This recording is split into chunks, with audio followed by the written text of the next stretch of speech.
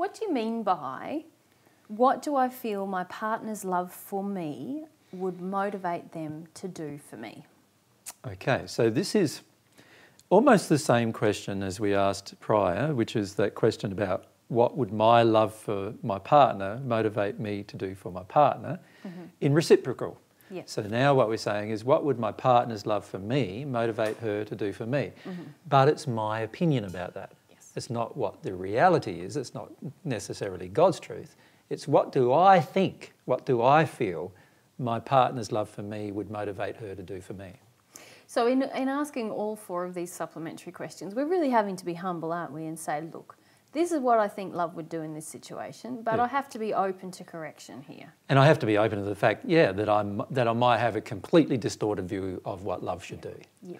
I need to be open. But it's good that. to ask the question because it helps me see things about myself. Yes, and it helps in particular you to see distortions in ethics. Yeah. So, in other words, if I feel my love for my partner would motivate me to do something for my partner, I can often reciprocate it and go, mm. okay, I feel my love for my partner would make me go to work for 40 hours a week for her. Yeah. Okay, that means if I'm ethical, that my love of my partner's love for me should motivate her to go to work 40 hours a week in order for me to have a nice life. Yeah. Yeah. Does that make sense? Yes. If I if I had this ethical stance and I was asking the question in terms of both um, um, from both perspectives, I would actually see quite easily most of the time where my ethics were out where, where I was not in an ethical place with regard to these questions. Mm-hmm. So, my partner's love for me would motivate her to do what for me, in my opinion? Well, firstly, if I'm looking at it from a pure perspective, my partner's love for me would never ask me to betray myself yeah. in any way, whether it's spiritual, emotional, sexual, or physical. So, if my partner truly loved me, she would not ask me to betray myself in any manner. Mm-hmm. That's how it would be if I was in harmony with God. Mm-hmm. If my partner loved me, she would ask me mm-hmm. to take full personal responsibility for myself, emotionally, spiritually, sexually, and, and physically. Yeah. She would ask me to take full responsibility. Because she wants me to be a capable person who's able to care for themselves because she knows part of that pure love knows that that's actually a, a really great thing for you to experience. Exactly. Yeah. Exactly.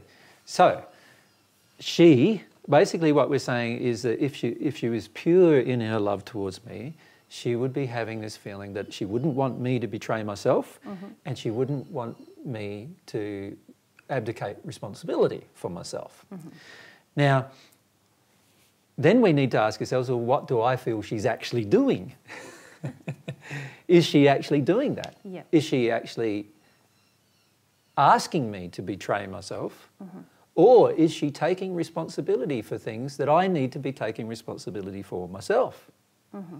Because if she's doing either one of those two things, she's not really loving me. Mm-hmm. I might like it. Mm-hmm. like in the case of not having to take responsibility, I might like that. Yeah. But it's not, she's not loving me by doing that, and I'm not loving me by expecting it. And I'm not loving her by expecting it.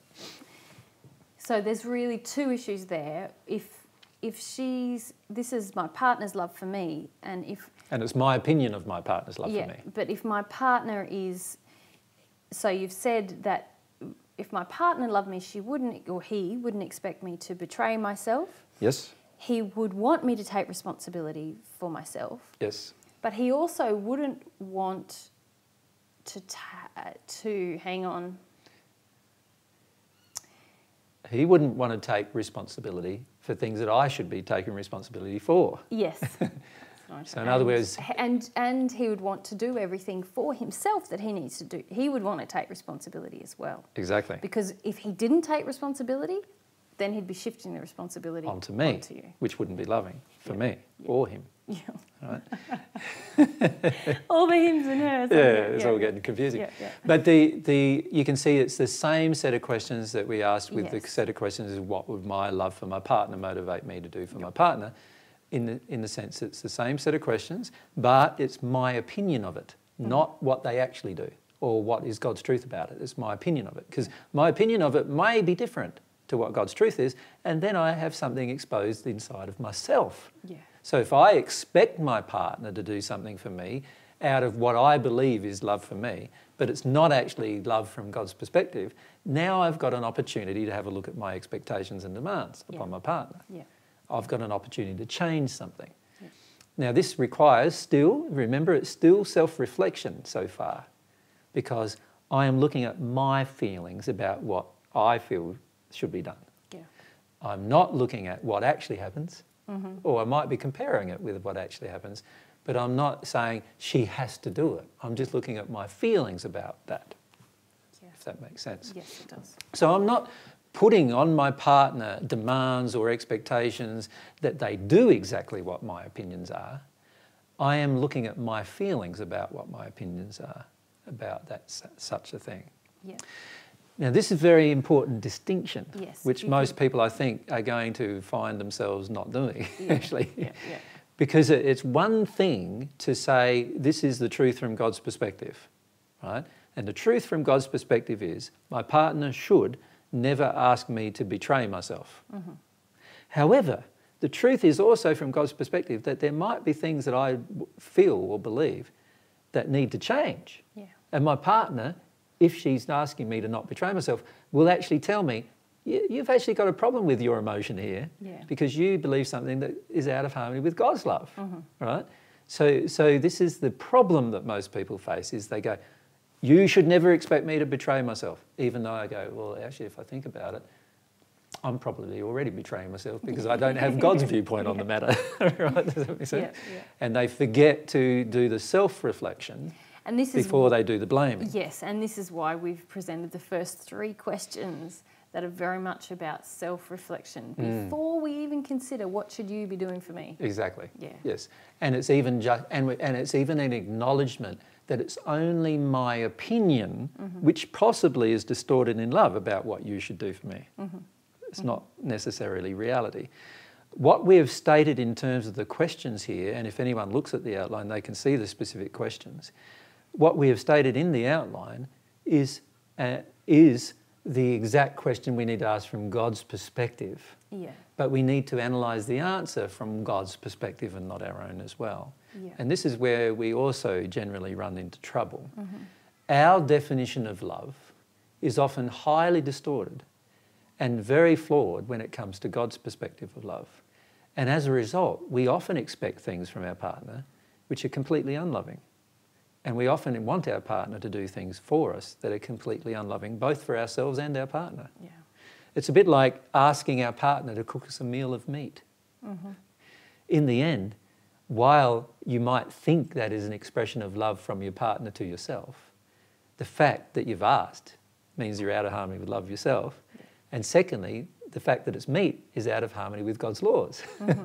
so, so if your partner loved herself from God's perspective, she couldn't cook you a meal of meat Yeah.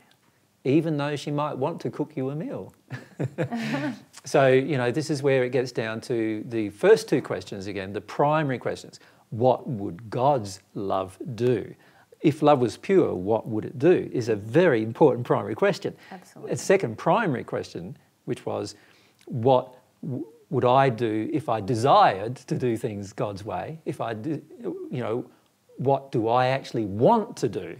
Be honest about it. Do I want to do things God's way? Second primary question. And these supplementary questions are just helping you determine what's going on with those primary questions. They're helping you to look at and examine ethics, the ethical interaction between yourself and your partner, how you see love of self, how you see love of your partner, how your partner sees love of herself, how your partner sees love of you, mm-hmm. and how you see each thing from your own opinion. So, like I said, in the end, there's eight questions. Four that I ask, four that my partner asks herself. So, when we examine these sets of questions, what we're really doing is we're trying to come to come some kind of resolution as about what love would do. It's helping us, Yes. and this is why they're supplementary questions. Mm-hmm. The whole goal of these questions is to help us understand what love would do. Yeah. Yeah. Yeah.